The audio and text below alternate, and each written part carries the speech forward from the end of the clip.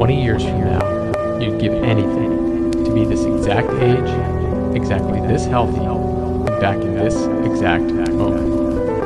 Take a second to enjoy it.